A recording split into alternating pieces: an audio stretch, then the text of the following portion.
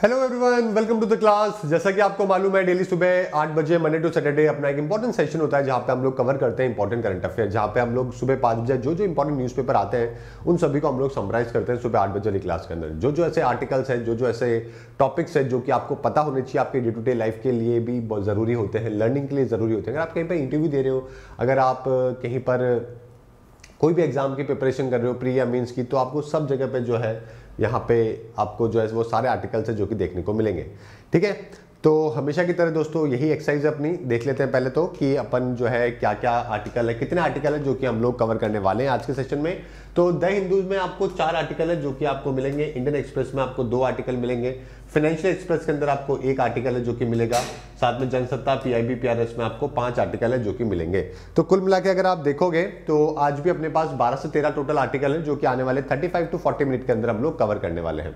एक बात और कि कल है सैटरडे कल अपनी क्लास है जो कि नहीं हो पाएगी क्योंकि मैं कल नॉट इन जयपुर ओके तो कोशिश करेंगे सैटरडे की क्लास संडे को कवर कर ले या तो। है ना? और अगर मैं संडे को नहीं आ पाया तो फिर मंडे को तो अपन को करना ही है, ठीक है? तो मंडे को हम लोग कवर कर लेंगे। कोई दिक्कत नहीं है दो तीन दिन का सैटरडे संडे को वैसे भी बहुत कम न्यूज़ है जो कि होती है। चलो, ठीक है? आपको अगर इस क्लास की पीडीएफ चाहिए तो क्लास 24 पे मिल जाएगी। साथ में इंडिया के सारे एग्ज़ाम के कोर्सेज भी आपको मिल जाएँगे। किसी भी एग्ज़ाम की तैयारी करनी है, कोई सी है एएलपी का है, कोई आरएस का एग्ज़ाम है आपका आरपीएससी का कोई एग्ज़ाम है है ना? यूजीसी नेट अगर आपको करना है सेट असिस्टेंट प्रोफेसर की तैयारी करनी है तो आप जीआरएफ अड्डा एप्लीकेशन है जो कि डाउनलोड कर सकते हैं ठीक है?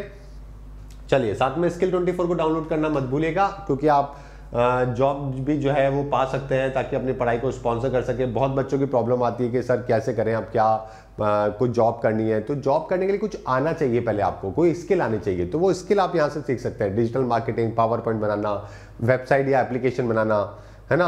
ग्राफिक डिज़ाइनिंग वीडियो एडिटिंग ये सारे कोर्सेज आप यहाँ पे करके जो है वो काफ़ी इंप्रूव कर सकते हैं और जॉब जो है वो आपको मिल जाएगी उसके बाद।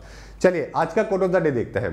If everyone is happy with you then surely you have made many compromises in your life if you are happy with everyone surely you have ignored many faults of others देखो, एक बहुत अच्छी बात यहाँ पे बोली गई है कि अगर आपसे है ना, बहुत ही लोग मतलब ऑलमोस्ट अगर मान लो आपसे सभी लोग खुश हैं तो यानी कि आपने कहीं ना कहीं कॉम्प्रोमाइज किया है। क्योंकि ऐसा तो पॉसिबल ही नहीं है ना कि आपका हर एक स्टेप हर एक इंसान को खुश कर दे। ऐसा पॉसिबल ही नहीं है इस दुनिया में। महात्मा गांधी भी ये बात बोला करते थे कि सबसे पहले जब आप कोशिश करते हो, हर आदमी को खुश रखो तो सबसे पहले आपका फेलियर होता है। क्योंकि ऐसा पॉसिबल ही नहीं है। एंड ऑफ़ द डे आपको यह ध्यान रखना होता है कि क्या चीज़ सही है और क्या चीज़ गलत है। अगर कोई चीज़ गलत है तो आपको बतानी भी ज़रूरी है, बोलनी भी ज़रूरी होती है। उस केस में भी अगर आप सामने वाले को खुश रखने की कोशिश कर रहे हो इसका मतलब क्या है कि you are compromising with that part of your life और अगर आप लोगों से खुश हो तो इसका मतलब आपने लोगों की फॉल्ट को जो है, वो क्या किया है इग्नोर करना चालू किया है। ये ज़्यादा बेटर तरीका है, क्योंकि हर इंसान में कमियाँ होती है। दुनिया में ऐसा कोई भी नहीं है जो परफेक्ट हो। हम लोगों से उम्मीद ये करते हैं कि हर आदमी जो है, वो परफेक्ट हो जाए, ये मेरी बात माने, ये इसी तरीके से काम करे या वही चीज़ की प्रिपरेशन करे या वो वैसा ही करे जैसा मैं चाहता हूँ। तो ये आपकी प्रॉब्लम है, ये आप चाहते हो, ये उसकी प्रॉब्लम नहीं है ये। एंड ऑफ़ द डे सबकी ज़िंदगी अपनी अपनी होती है, हर किसान, हर इंसान को अपने अपने तरीके से जीने का पूरा अधिकार होता है। तो अगर ये आप चाहते हो कि अगला ऐसा रिएक्ट करे, अगले ऐसे काम करे, वो ये करे, वो वो करे तो ये आपकी प्रॉब्लम है सामने वाले की नहीं है। तो ये एक्सपेक्टेशन करना बंद कर दो और ये एक्सपेक्टेशन जो आपको पसंद है, वो तो बिल्कुल ही बंद कर दो। क्योंकि ये वो डिसाइड करेगा उसको क्या करना है, क्या नहीं करना है ज़िंदगी में, कैसे जीना है। उसको फ़ेमस होना है कि उसको नहीं होना है, उसको आम इंसान रहना है है ना? ये वो डिसाइड करेगा। ओके तो आपको लोगों की गलतियों को इग्नोर करना सीखना चाहिए। जब आप इग्नोर करना सीखने की कोशिश करोगे ना तब आप जो है वो सब लोगों से खुश रहोगे। आपको सब लोगों की खुश करने की ज़रूरत नहीं है। ओके? ये उल्टा प्रोसेस है ये। लेकिन हम लोग नॉर्मल लाइफ में उल्टा प्रोसेस करने की कोशिश करते हैं और इससे परेशानी भी होती है। चलिए नेक्स्ट बात करते हैं आज के दैंदू के फ्रंट पेज की। सबसे पहले तो यहाँ पे पुलिस ने बोला कि दंतेवाड़ा के अंदर जो मोस्ट अटैक हुआ है ना, वहाँ पे दो दिन पहले ही उन्होंने जो आईईडी है वो है प्लांट कर दिए थे तो बहुत ही वेल प्लान्ड जो है, इस अटैक को जो है वो बताया गया है। कल हमने पढ़ा था इसके बारे में पूरा कि एक पूरा का पूरा रेड कॉरिडोर है है ना? दंतेवाड़ा सुकमा, बस्तर, ये पूरा जो रीजन है, इस वाले रीजन के अंदर। यहाँ पे सेंट्रल गवर्नमेंट ने दो पोस्टल यूनियन को डी रिकग्नाइज जो कि कर दिया है है ना? चलिए, इसके अलावा यहाँ पे पीस जो बॉर्डर के ऊपर है, वो चाइना के ऊपर डिपेंडेंट है, ऐसा दोस्तों राजनाथ सिंह जी का स्टेटमेंट है। यहाँ पे फ्रीबीज की बात करी गई और यहाँ पे यूपी की बात करी गई। तो फ्रंट पेज पे ऐसा कुछ भी खास है जो कि इंपॉर्टेंट नहीं है।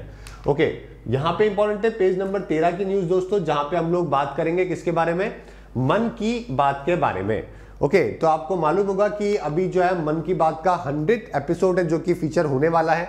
और इसी हंड्रेड फीचर की वजह से जो है सौवा सेशन है जो कि हो रहा है। एक कॉमिक बुक है दोस्तों जो कि रिलीज़ करी जा रही है। कॉमिक बुक दोस्तों किसके द्वारा रिलीज़ करी जा रही है? अमर चित्र कथा के द्वारा। अमर चित्र कथा की बचपन में कहानियाँ बहुत सारी, इंद्रजाल, विंद्रजाल, ये सब जो है ना बहुत सारी किताबें हैं जो कि आपने पढ़ी होगी बचपन में। मुझे नहीं पता कि आपने कभी कॉमिक्स पढ़ी है कि नहीं पढ़ी है, लेकिन बहुत ही ज़बरदस्त तरीका था बचपन में लर्निंग करने का कॉमिक्स लोग जो है कॉमिक्स लेके आते थे रेंट के ऊपर। बुक्स आती थी छोटी छोटी पतली पतली सी। तो समर वेकेशन के अंदर तो यही काम हुआ करता था। है ना, मेरे भी पड़ोस में, घर के पास में एक बुक स्टोर हुआ करता था जो कि रेंट पे दिया करता था कॉमिक्स की बुक है ना? तो कोशिश होती थी कि दो तीन पेज तो क्या वहाँ खड़े खड़े ही पढ़ लो। ऐसा लगता था कि रेंट दिए बिना ही काम चला लो मतलब।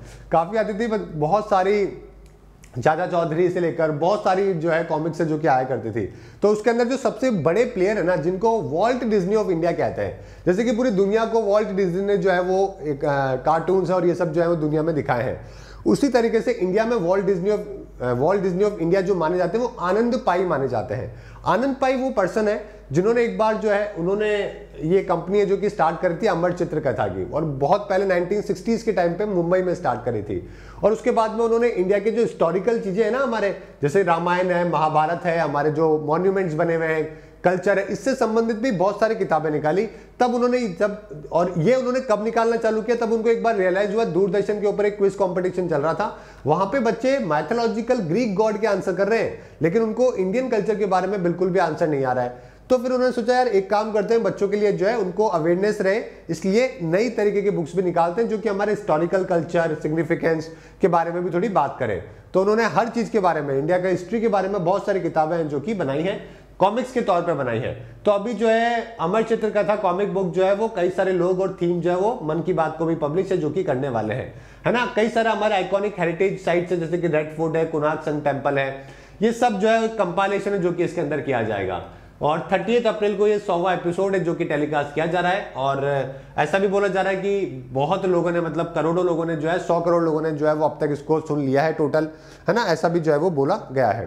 तो अमर चित्र कथा के बारे में मेरे को थोड़ा सा आपको बताना था बिकॉज़ बहुत ही पुरानी कंपनी है और बहुत पहले से काम कर रही है और बहुत सारी फ़ेमस बुक्स है, इन्होंने निकाली है लेकिन बस हम लोग नाम ही सुनते हैं, हमें कभी इसके बारे में पीछे का तो पता ही नहीं चला है। ओके तो एक इंडियन पब्लिशर है कॉमिक्स और ग्राफिक नॉवल्स के। जैसे कि कोई भी religion based publication epic stories है हिस्टोरिकल फिगर्स है बायोग्राफिक्स है फोक टेल्स है ये सब आनंद पाई के द्वारा इसकी शुरुआत है जो कि मुंबई के अंदर करी गई थी। है ना? और पहले तो इंद्रजाल की कॉमिक्स आया करती थी वो बंद करने के बाद इन्होंने कई सारे अमेरिकन फेरी टेल्स की जो है ना आ, वो राइट्स खरीदे है ना? स्नो वाइट के राइडिंग हुड के जग अंदा बीन स्टॉक के है ना? इन सब के। फिर उनको इंडियन वर्जन के अंदर भी रिलीज़ करना चालू किया। कृष्णा करके भी एक कॉमिक है जो कि इनके द्वारा रिलीज़ गई, करी गई। इनको बोलते हैं आनंद भाई, ये वो पर्सन उन्नीस में इनका जन्म हुआ 2011 में इनकी डेथ हुई। World Disney of India uncle Pai इनको कहा जाता है। ओके अमर चित्र कथा के ये फाउंडर है, जो कि माने जाते हैं। चलो, ठीक है? इस तरीके की बुक्स है कॉमिक्स की, जो कि पहले आया करती थी, है ना? अब आपसे इस बार के जो एग्ज़ाम होंगे ना, उसमें मन की बात से भी रिलेटेड कोई सवाल है, जो कि पूछा जा सकता है। अब क्या पॉसिबिलिटी है जो कि मन की बात के ऊपर सवाल है जो कि बन सकता है एग्ज़ाम में? एक तो ये पूछ सकते हैं कि बताइए कब जो है इसकी शुरुआत है जो कि हुई थी। फ़र्स्ट मन की बात का जो प्रोग्राम है वो कब ब्रॉडकास्ट है जो कि किया गया था? आपसे पहला ये सवाल। तो रेडियो के आउटरीच प्रोग्राम का ये पार्ट है जो कि माना जाता है। देखो क्या होता है, अपनी आवाज़ पहुँचाने के बहुत तरीके होते हैं। है ना? जैसे कि यूट्यूब भी एक तरीका है। और सोशल मीडिया मतलब यूट्यूब का मतलब हो गया एक तरीके से फेसबुक इंस्टाग्राम सभी मान लो, उसको इंक्लूड कर लो सोशल मीडिया के तौर पर उसी तरीके से न्यूज़पेपर के थ्रू आज़ादी के टाइम पे तो आज़ादी से पहले तो न्यूज़पेपर ही सबसे बड़ा माध्यम हुआ करता था बात पहुँचाने का और ब्रिटिश बैन भी कर दिया करते थे। डर लगा करता था उनको न्यूज़पेपर से ही कि कोई जो है इनफैक्ट जो पहला न्यूज़पेपर जो था बंगाल गैजेट विलियम जोन्स के द्वारा, उस, उन्होंने भी कुछ ब्रिटिश के खिलाफ छाप दिया था, उनको भी बैन कर दिया था। मतलब ब्रिटिश का अखबार ही बैन कर दिया था। है ना? लिट्टन करके एक पर्सन आया था जिसने सबके ऊपर बैन लगा दिया था। फिर रिपून आया था एक और जिसको अकबर ऑफ़ वाइस रॉय कहते हैं, उसने थोड़ा सा रिस्ट्रिक्शन है जो कि ईज डाउन किया था। तो एक न्यूज़पेपर भी तरीका है। इसी प्रकार से रेडियो का भी एक तरीका है लोगों तक तो बात पहुँचाने के लिए, क्योंकि 65 परसेंट आज भी हमारा ग्रामीण भारत है। गाँव के अंदर आज भी रेडियो चलता है और वहाँ पे हमारे जो दूरदर्शन, ये जो डीडी के जो है ना आकाशवाणी रेडियो ये आज भी बहुत चलते हैं, बहुत लोग देखते हैं, सुनते भी हैं, है ना? तो ये भी एक तरीका है। इसी प्रकार से जो आपके ये हैं टीवी चैनल्स हैं वहाँ से भी बात पहुँचाने का तरीका है। वो तरीका बहुत ही खराब हो चुका है क्योंकि वहाँ पे लड़ाइयाँ ज़्यादा होती है, बातचीत कम होती है। तो वो तरीका बहुत डिस्टॉर्टेड हो चुका है, इसलिए लोग जाके जाते ज़्यादा वहाँ पे प्रीफर करते नहीं अपनी बात पहुंचाना, क्योंकि बात पहुँचाने ज़्यादा झगड़ा ज़्यादा करना होता है वहाँ पे। तो ये अलग अलग माध्यम होते हैं। तो पीएम मोदी ने जो है वो रेडियो प्रोग्राम में जो कि चुना था, ये इसकी शुरुआत विजयदशमी को हुई थी तीन अक्टूबर दो हज़ार चौदह को। सेकेंड सेशन हुआ था दो नवंबर दो हज़ार चौदह को। तीन अक्टूबर दो नवंबर। ये दो डेट ध्यान रखनी है आपको 2014 की। साथ में ये भी पूछेंगे कि जो इस बार हंड्रेड सेशन होगा ना, उसके अंदर क्या बात है जो कि करी गई है? उसमें क्या होगा कि पीएम मोदी कई लोगों के बारे में बात करेंगे या कोई योजना के बारे में बात करेंगे? तो उसको भी हाईलाइट है जो कि एग्ज़ाम में किया जा सकता है कि बताइए इससे संबंधित इससे संबंधित, इस तरीके का। तो जब तीस तारीख को होगा तो हम लोग एक तारीख को जो है देखेंगे कि क्या क्या चीज़ों के बारे में बात करी गई है तो उसको भी हम लोग एक बार देख लेंगे। ताकि एग्ज़ाम में सवाल आएगा तो छूटेगा नहीं। है ना? यहाँ पे एक बहुत ही ब्यूटीफुल फ़ोटो है जो कि आपको मुंबई जू के अंदर हेम्बोल्ट पेंगुइन की जो है वो दिखाई गई है। और ऐसा क्यों किया गया है? क्योंकि ट्वेंटी फिफ्थ ऑफ़ अप्रैल जो अभी गया है दो तीन दिन पहले आ, उस दिन पेंगुइन डे है जो कि पूरी दुनिया में मनाया जाता है। ये मुंबई जू का फ़ोटो है ना? किस तरीके से देख रहा है? ओके इनके लिए क्या माइनस का टेम्परेचर बनाना पड़ता है? क्योंकि ऑब्वियसली ये ठंडे एरिया में रहने वाले हैं। है ना? ऑस्ट्रेलिया जाओगे कभी तो मेलबर्न के पास में एक जगह है। वहाँ पे तो मतलब ये लोग जाते हैं अपने एरिया पे, फिर वापस आते हैं। एकदम लाइन से जाते हैं ये लोग। एकदम लाइन से जाएँगे लाइन से आएँगे। बहुत ही डिसेंट बहुत ही समझदार होता है एकदम। ओके स्कूल में बच्चे नहीं जाते थे एकदम डिसिप्लिन से। तो ये लोग भी एकदम डिसिप्लिन से जाते हैं डिसिप्लिन से आते हैं। ऐसा होता है। चलो, आगे बात करेंगे जो कि झारखंड को लेकर। तो हेमंत सरकार का एक नया प्रोग्राम है जो कि आया है, जिसके अंदर एयर एंबुलेंस की चर्चा है जो कि करी गई है। देखो, क्या होता है कि हमारे देश में ना 80 परसेंट ऐसे एरियाज़ हैं जहाँ पे हायर मेडिकल सुविधाएँ अवेलेबल ही नहीं है। यानी कि मान लो सर्जरी करनी है कोई बाईपास करना है कुछ ऐसे आ, कुछ ऐसे अगर कुछ हायर मेडिकल सेवाएँ की ज़रूरत है ना तो 80 परसेंट एरिया के आसपास कुछ भी नहीं है ऐसा। तो उनको दूसरी जगह पे जाना पड़ता है दो घंटे चार घंटे छह घंटे की दूरी पे।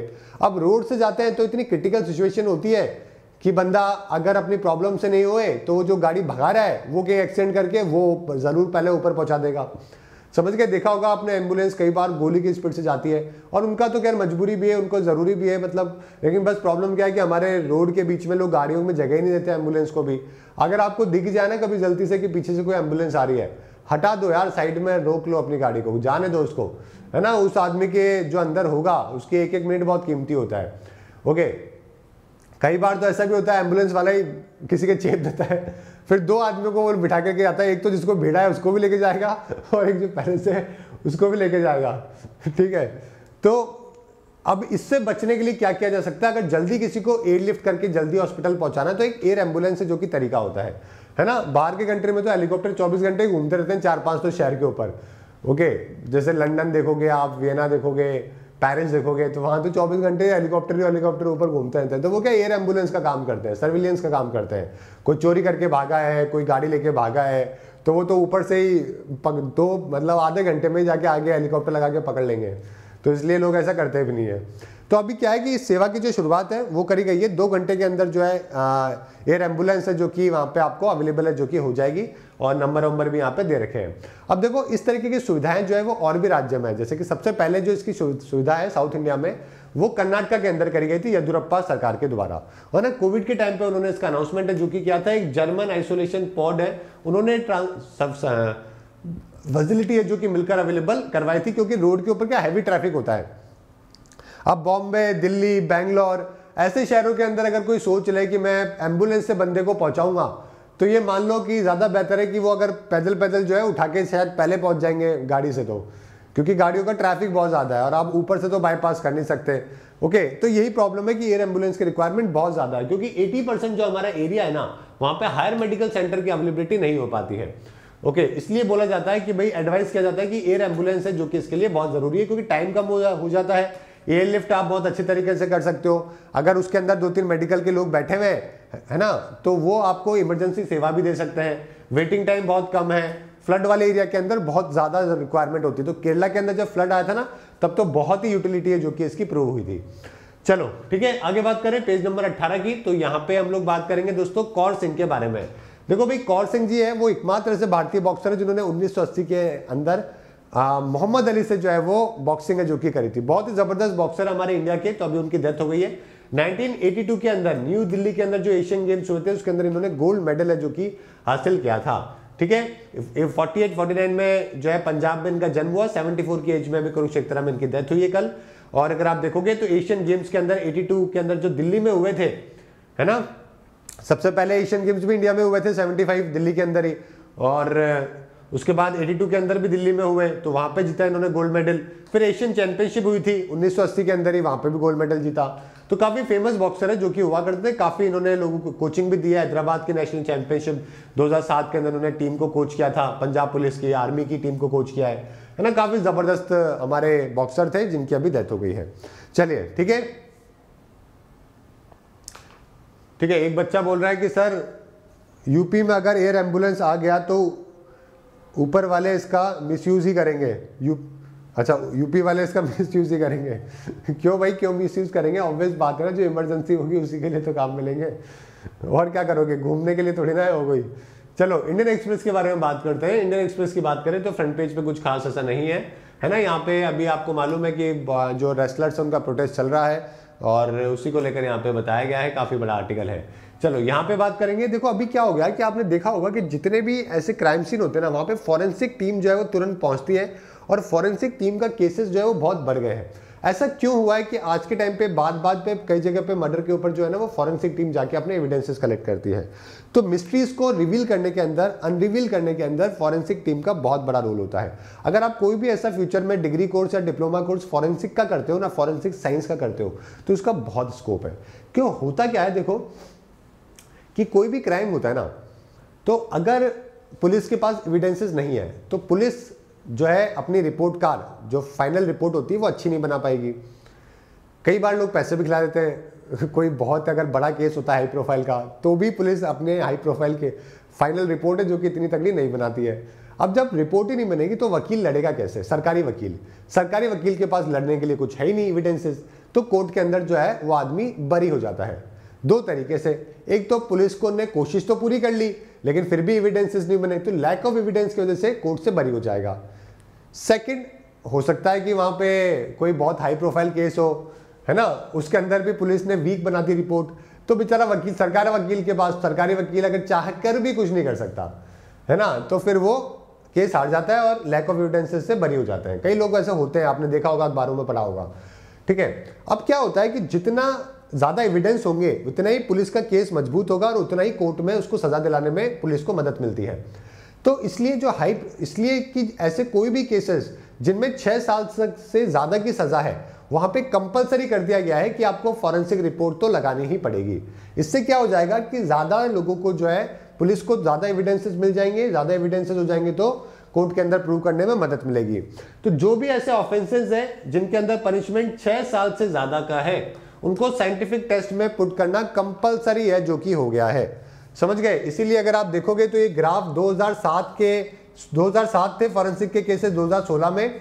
अभी बढ़ के साढ़े आठ सौ भी ज़्यादा है, जो कि 2022 में हुए हैं। छह फॉरेंसिक व्हीकल है, जो कि आज के टाइम पे काम में लिए जा रहे हैं। करंटली जो लैब है, उनके पास छह टीम है और ये छह रेंज में काम करती है दिल्ली पुलिस के साथ में। पंद्रह टीम पंद्रह डिस्ट्रिक्ट के अंदर जल्दी और बनाने वाले हैं। तो अगर आप देखोगे तो क्राइम सीन के, के लिए इनके पास एक मैनेजमेंट डिवीज़न होती है ट्वेंटी फोर सेवन काम करते हैं। ड्यूटी होती है ऑफिसर की वो क्राइम सीन के बारे में पूरा लिखता है फिर जो वहाँ के ऑफिसर है उनसे परमिशन मिलती है फिर टीम जाती है और फिर वहाँ पे छोटे छोटे चीज़ों को क्या करती है है ना? देखा होगा आपने वो सीआईडी के अंदर एक फॉरेंसिक टीम जाती है फिर वो कलेक्ट करती है सैंपल तो सैंपल कुछ भी हो सकते हैं बहुत ही माइन्यूट माइन्यूट अगर मान लो कहीं पे क्राइम सीन हुआ और एक ब्लड का टुकड़ा भी गिर गया ना तो फॉरेंसिक टीम सब कुछ बता देती है। बंदा कितने साल का था? बंदा कैसे हो सकता है? ओके पूरा उसका जो है, एक स्टडी है जो कि ओके उसका पूरा डेटा निकल के आ जाता है। लड़का है कि लड़की है, सब चीज़ें पता लग जाती है। तो ब्लड सीमन है क्लोथ्स है सलाइवा वाले बुलेट है बोन्स है, कोई लकड़ी के ऊपर हाथ रखे हुए हैं, है ना? सीमन है, किसी का पसीना है, कुछ भी मतलब ऐसा फिंगरप्रिंट है फाइबर बाल हो गया पेंट ग्लास कुछ किसी के ऊपर भी रखा हुआ है तो ये सारे एविडेंसेस जो कि कलेक्ट होते हैं।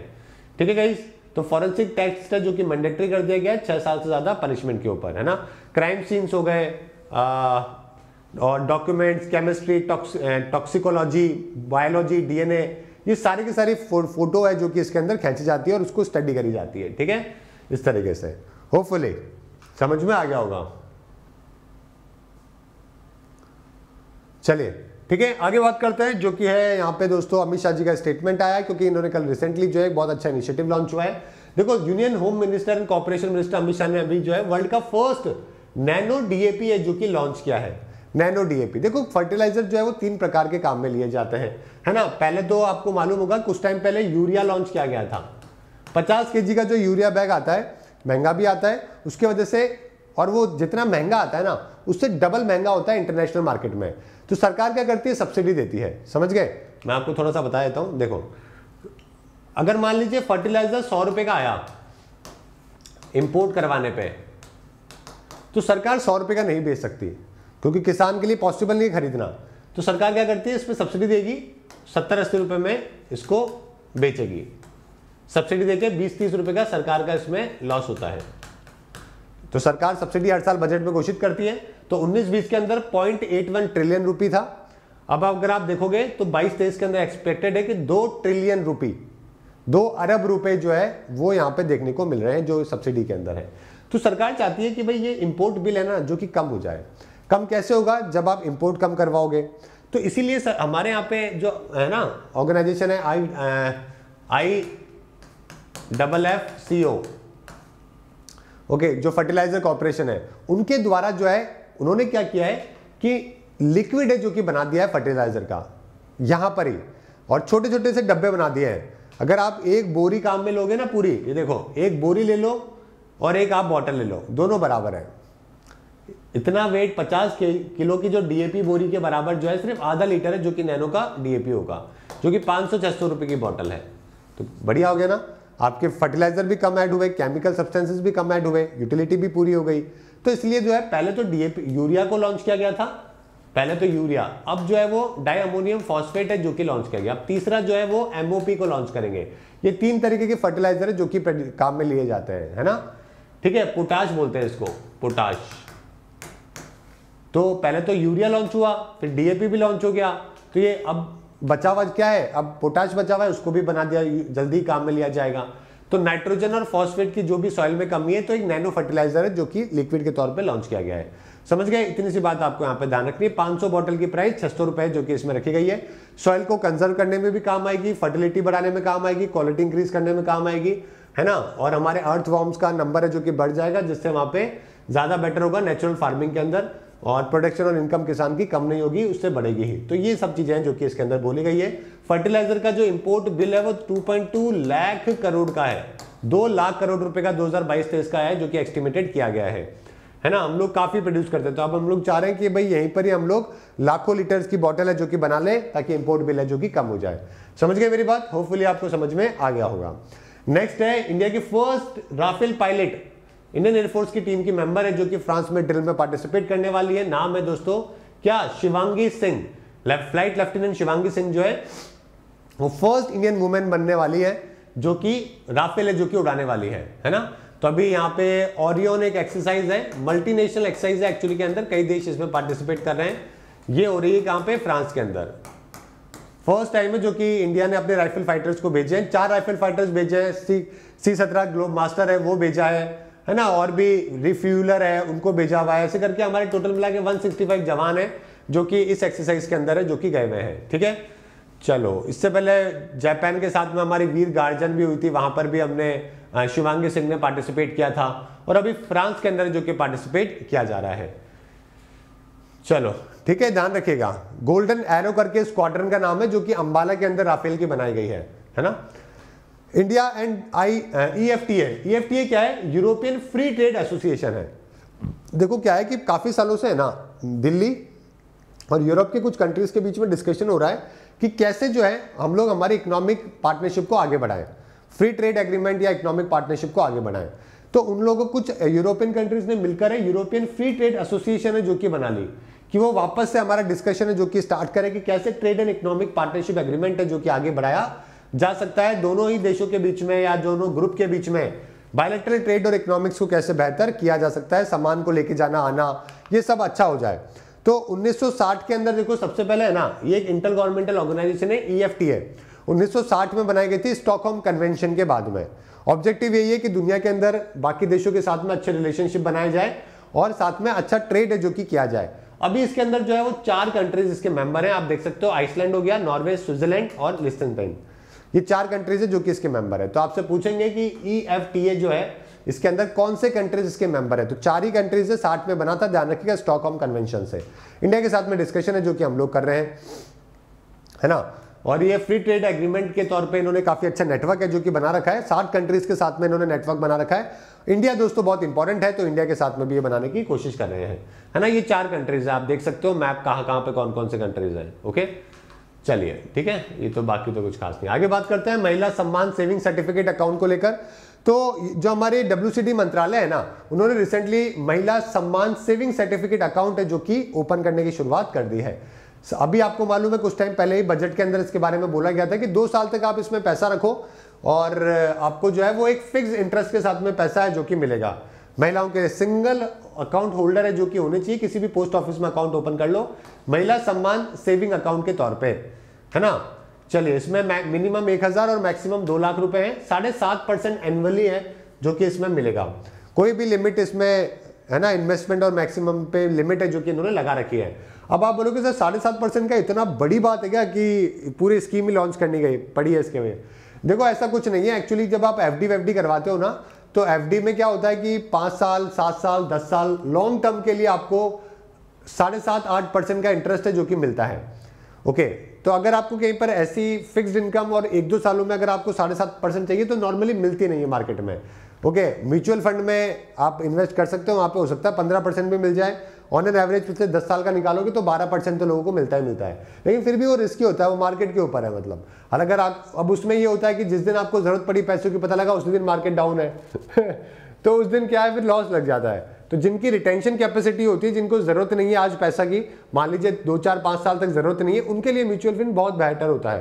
है ना? तो अगर आप में से कोई भी जॉब करते हैं ना तो आप लोग एक एसआईपी करवा के रखा करो। अगर आप मान लीजिए पचास, बीस हज़ार रुपए आपकी सैलरी है तो उसमें से महीने के तीन हज़ार, चार हज़ार रुपए एसआईपी करवा लो एसआईपी आपको कुछ भी नहीं है, छोटा सा तरीका है। फ़ोन पे एप्लीकेशन में जाओगे, वहाँ पे भी ऑप्शन मिल जाएगा एसआईपी का पेटीएम पे भी मिल जाएगा, सब जगह मिल जाएगा। तो महीने के अगर आपके पाँच हज़ार रुपए जा रहे हैं तो हर साल में कितने हो रहे हैं? साठ हज़ार रुपए हो रहे हैं।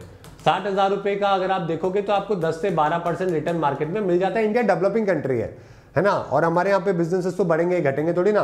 तो दस बारह परसेंट तो यहाँ पे मिल जाएगा। फिर अगले साल ये कितना हो जाएगा? सत्तर हज़ार रुपये हो जाएगा मान लो। फिर इसके ऊपर बारह परसेंट, फिर अस्सी हज़ार, फिर वो डबल हो जाएगा आपके दो साल बाद में आपने साठ, एक एक एक लाख बीस हज़ार रुपये तो आपने दिए और उसके बाद बारह परसेंट। तो मतलब कंपाउंडिंग हो रहा है फिर वो पैसा। तो वो ज़्यादा बेहतर तरीका है अगर आपको थोड़ा पैसा कमाना है तो। मतलब आइंस्टाइन ने तो उसको दुनिया का एट्थ वॉन्डर है, जो कि कहा था कंपाउंडिंग के पावर को, कि कंपाउंडिंग की जो पावर होती है ना, वो बहुत ही खतरनाक होती है। ओके क्योंकि आपने फॉर एग्ज़ाम्पल सौ रुपए इन्वेस्ट करे, अगले साल एक सौ हो गए, फिर अगले साल 112 का 12 परसेंट होगा। समझ गए? फिर जो 144 आएगा, उसका भी 12 परसेंट तो कंपाउंडिंग की पावर होती है।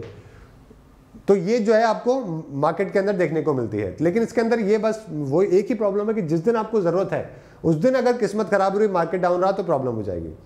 है ना? चलो, ठीक है? तो इसीलिए सरकार ने फिक्स्ड ताकि मार्केट ड्रिवन ना रहे। सरकार ने इसलिए ये योजना लॉन्च करी क्योंकि साढ़े सात परसेंट की भी आपको दो साल में डेढ़ साल में जब भी ज़रूरत हो तो आप निकाल सकते हो। चालीस परसेंट पैसा आप पहले साल में भी निकाल सकते हो, कोई दिक्कत नहीं है, ठीक है?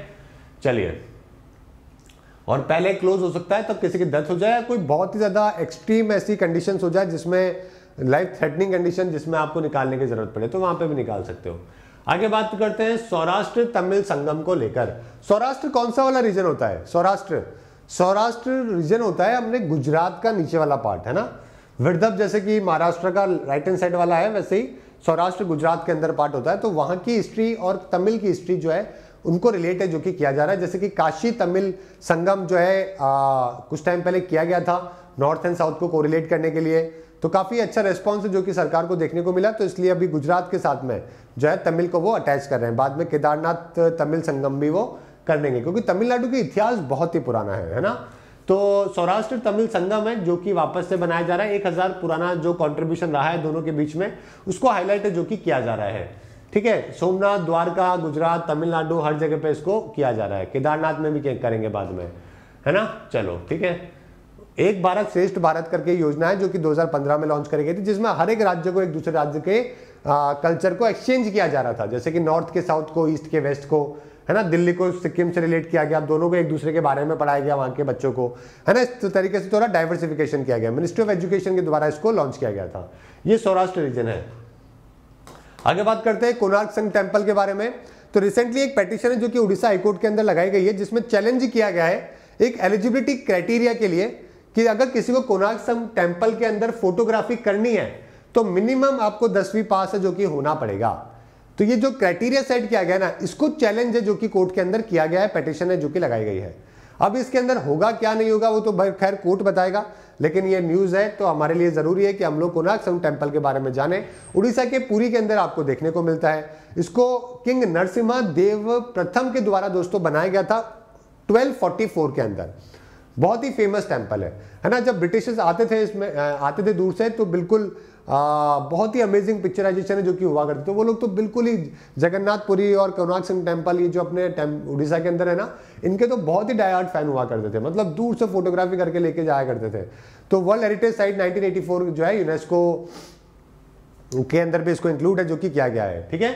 इसको सूर्य देवलाया भी कहा जाता देवलाया भी कहा जाता है, क्योंकि सूर्य गॉड को जो है डेडिकेटेड है। आर्किटेक्चर बहुत ही अमेजिंग है, कलिंगा आर्किटेक्चर है इसका। सौ फीट का ही एक सोलर रथ जो है वो भी बना रखा है। 24 व्हील्स है उसमें, छह हॉर्सेस के द्वारा उसको पुल है जो कि किया जाता है, ठीक है?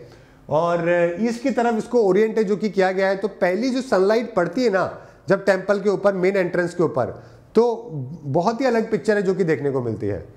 और कई सारे इमेजेस एनिमल के वॉरियर्स के हॉर्सेस के जो है वो बना रखे हैं। बहुत ही ब्यूटीफुल साइट है मतलब। और नॉर्मली जो है, जो टेंपल बिल्ड किया गया है, वो एक कॉन्डलाइट रॉक्स है, उससे इसको बनाया गया है। अब जब उसके ऊपर सनलाइट पड़ती है और जब सनसेट हो रहा होता है ना तो एकदम ब्लैक कलर का नज़र आता है टेंपल थोड़ा बहुत पिक्चराइजेशन तो इसलिए इसको ब्लैक पकोड़ा है, जो कि कहा गया क्योंकि थोड़ा डार्क कलर है, जो कि देखने को मिलता है. ठीक है गाइस चलिए. और बहुत ही फ़ेमस है चंद्रभाग फेस्टिवल ये भी यहाँ पे फेब्रवरी के अंदर मनाया जाता है. सांची के बारे में बात करेंगे. चलो तो सांची की बात करें तो एक वर्ल्ड हेरिटेज साइट तो है ही, आपको मालूम ही है, मध्य प्रदेश में। तो इंडिया का फ़र्स्ट सोलर सिटी है जो कि ये बनने वाली है। सांची के अंदर काफ़ी अपग्रेडेशन है जो कि दोस्तों किया गया है, ठीक है गाइस चलिए, इंडिया की फ़र्स्ट सोलर सिटी है जो कि बनाए जा रहे हैं। रायसेन डिस्ट्रिक्ट के अंदर लोकेटेड है। बेटवा रिवर के पास में देखने को मिलेगी। सांची जो है एक रिलीजन प्लेस है हिस्टोरिकल और आर्कोलॉजिकल सिग्निफिकेंस है। और बुद्धिस्ट मॉन्यूमेंट है जो कि यहाँ पे देखने को मिलते हैं। सांची स्तूपा बहुत ही फ़ेमस है। पूरी दुनिया से लोग देखने को आते हैं। अशोका के टाइम पे थर्ड सेंचुरी बीसी में इसको बनाया गया था। है ना? बुद्धा और उनके जो डिसाइपल्स हैं, उनके कई सारे चीज़ें हैं, उनके द्वारा जो बताए बातें बताई गई थी, वो यहाँ पे देखने को मिलती है। बहुत ही मैसिव स्टोन है है ना? चार गेटवे हैं, यहाँ पे आप देख सकते हो, इस तरीके से इसको बनाया गया था। अशोका ने जाने से पहले एक बहुत ही अच्छा काम ये करके गया था। अशोका की सब जगह पे रॉक पिलर्स और एडिट से जो कि बनाया गया था जिसमें बहुत अच्छी अच्छी बातें लिख के गया था। पता नहीं उनको पढ़ाया क्यों नहीं जाता, इतना इतना उनको मार्केटिंग क्यों नहीं की जाती है, वरना इतनी अच्छी अच्छी बातें लिख के गया यार वो बंदा। मतलब अगर कोई पढ़ेगा ना, अगर आप कभी पढ़ना, कभी गूगल पे जाके है ना, आप रॉक एडिट्स के ऊपर क्या क्या लिखा हुआ है, किस बारे में लिखा हुआ है, वो सब देखोगे ना, बहुत ही अमेजिंग बातें करी गई है 2000 साल, सवा 2000 साल पहले। बहुत अच्छी बातें कर, लिखी गई है। ठीक है? चलिए, आगे बात करते हैं सांची स्तूपा के बारे में तो खैर मैंने आपको बता ही दिया है, बाकी तो कुछ खास है नहीं। आगे बात करें द हिंदू के वोकेबलरी के बारे में ट्रेल ब्लेजिंग के बारे में। ट्रेल ब्लेजिंग का मतलब होता है कि कोई भी चीज़ जो कि आपको नए आइडियाज़ दे, नए मेथड बताए इनोवेशन को हम लोग ट्रेल ब्लेजिंग है, जो कि कहते हैं। वैसे ही दोस्तों माइनेट का मतलब होता है, बहुत बड़ी संख्या के अंदर जब कोई चीज़ देखने को मिले। इनडेशन का मतलब है ग्रेट फ्लो ऑफ़ वाटर और समथिंग है ना? जब किसी भी चीज़ का सैलाब आ जाए, उसको हम लोग इनडेशन है, जो कि कहते हैं। पॉसिटी का मतलब कमी हो जाना किसी भी चीज़ के अंदर। और वेन ग्लोरियस का मतलब जब बहुत ज़्यादा कोई अपने आप पे या किसी चीज़ के ऊपर प्राउड करे, उसको कहते हैं। साथ में आपको पीडीएफ क्लास की क्लास 24 पे मिल जाएगी एप्लीकेशन पे। सारे आपको कोर्सेज भी मिल जाएँगे, जो भी आपको कोर्सेज करने हैं, सारे एग्ज़ाम के लिए। नेट सेट और असिस्टेंट प्रोफेसर के लिए आपको जेआरएफ अड्डा है, जो कि आप डाउनलोड कर सकते हो। स्किल 24 ऐप आपके पास अवेलेबल है, ताकि आप अपनी लर्निंग कर सको, आप अपनी जॉब पा सको, अपनी पढ़ाई करते हुए। डिजिटल मार्केटिंग है ग्राफिक डिज़ाइनिंग है वीडियो एडिटिंग है, कुछ भी आप करके जो है, कई सारे कोर्सेज चेक करिएगा एक बार। तो आपको जो है जॉब के काफ़ी अच्छे पॉसिबिलिटीज़ है। कैसे मिल सकती है, वो भी आपको बताया जाएगा। पहला सवाल है आज का आपको बताना है कि ऑपरेशन कौन कौन से ऑपरेशन कहाँ कहाँ पे करवाए गए हैं। चलिए, ऑपरेशन मैत्री नेपाल के अंदर करवाया गया था। संकट मोचन साउथ सुडान में, देव शक्ति जो है वो अफ़गानिस्तान में। गंगा जो है वो सुडान में नहीं है। तो थर्ड फोर्थ वाला तो बिल्कुल गलत है। तो कौन सा पेयर जो है, इसमें करेक्ट है? तो मुझे लगता है कि डी वाला पेयर इसमें बिल्कुल सही है। तीनों ये जो ऊपर वाले हैं ना, ये तीनों बिल्कुल सही है। सही है क्या? हाँ बिल्कुल। नहीं नहीं नहीं। इसमें से अफ़गानिस्तान वाला सही है। ऑपरेशन देव शक्ति संकट मोचन भी हुआ था, संकट मोचन, लेकिन मेरे ख्याल से टर्की में किया गया था आई गेस एक बार देख लेते हैं, मैत्री जो किया गया था, ये नेपाल में किया गया था। ओके संकट मोचन जो हुआ था, ये साउथ सुडान सिविल वॉर के टाइम पे किया गया था। तो संकट मोचन तो साउथ सुडान, ये वाला बिल्कुल सही होना चाहिए। दो पेयर सही होगा इसमें अच्छा। एक तो ये वाला सही है। संकट मोचन, साउथ सुडान। देवी शक्ति जो किया गया था, ये किया गया था अफ़गानिस्तान से, ये भी सही है। ये दो पेयर है जो कि इसके अंदर नेपाल, ये भी सही है, मैत्री नेपाल गई तो है, ये भी ठीक है। तो वन टू थ्री तो तीन पेयर इसमें सही है। अच्छा ओके सही है सही है। तीन पेयर इसके अंदर सही है। है ना? ऑपरेशन गंगा नहीं है, कावेरी होगा सुडान वाला। बाकी देव शक्ति, देवी शक्ति अफ़गानिस्तान, संकट मोचन साउथ सुडान मैत्री आपका नेपाल। ध्यान रखिएगा इंपॉर्टेंट है पेपर में पूछते हैं कावेरी जो किया गया वो इंडिया और सुडान के बीच में किया गया। हीट वेव्स की बात करें तो हीट वेव्स कब होती है? जब टेम्परेचर बढ़ जाता है। पाँच से छह डिग्री नॉर्मल टेम्परेचर से एक जगह पे। आईएमडी दोस्तों उसको रीजनल टेम्परेचर के हिसाब से क्लासिफाई करता है। बिल्कुल सही है यार, इसमें तो कोई बात ही नहीं है। सी आपका सही आंसर होगा। चलिए, साची स्तूपा को यूनेस्को वर्ल्ड हेरिटेज साइट है, जो कि कब डिक्लेयर किया गया था? आंसर क्या होगा? 1989 में इसको किया गया। एक भारत श्रेष्ठ भारत स्कीम कब लॉन्च करी गई? इसको 2015 में करी गई। तो बी आपका सही आंसर होगा। तो ये था आज का आपका इंपॉर्टेंट सेशन अभी नौ बजे वाली क्लास में फिर से मिलेंगे, जहाँ पे हम लोग बायोलॉजी पढ़ने वाले हैं और हम लोग हमारे ह्यूमन बॉडी के फैक्ट्स के बारे में जानने वाले हैं। ठीक है आज के लिए इतना ही। Thank you everyone good bye and have nice day